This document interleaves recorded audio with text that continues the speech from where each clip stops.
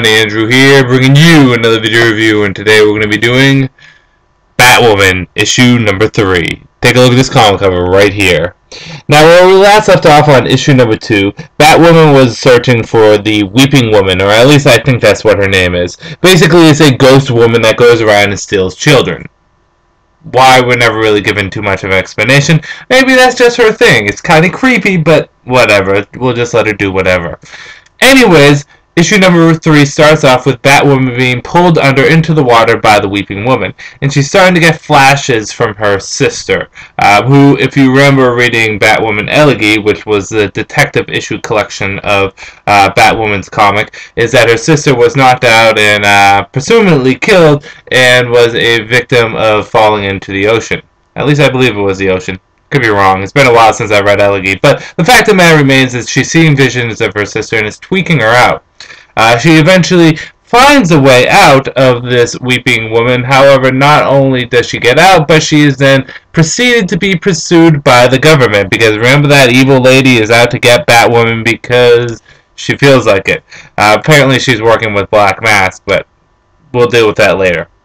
Anyways, Batwoman is just emotionally distraught, goes back and fires Flamebird, and this prompts Flamebird to basically give her the finger and go out and put her old school costume on and do her own vigilante work. However, is this a wise idea? Should Flamebird go out and do vigilante work? Is Batwoman emotionally uh, stable enough to go out and be a superhero? And is she going to make some bad decisions when she is not emotionally stable. And in the end, who's really out to get Batgirl? Who's the one behind all this masterminding plot? Is the Weeping Woman working with Black Mask, who's working with this government kind of lady? You never know. You're just going to have to read and see. Let's get into the good, the bad, and whether or not you should get it. Good. Uh, I like the fact that Flamebird's actually getting her costume. Uh, I like that. That is good. I hope I see more of that. Um, and I like to see a little bit more of this vulnerable side from Batwoman. Uh, and her relationship with Maggie Sawyer is developing pretty nicely. Uh, bad. I really don't know what to feel about this issue. It felt as though not much happened, although a lot did happen. Uh, I guess what I'm saying is the things that did happen were big and important. But besides that, it doesn't feel like too too much happens. Um, in addition to that, I'm not really digging any of the villains that show up here. At first, I thought I would like the Weeping Woman, but they really haven't done anything with her at all. Um, Batwoman really hasn't fought her at all. Black Mask isn't really doing anything at all. It feels as though the villains are lackluster.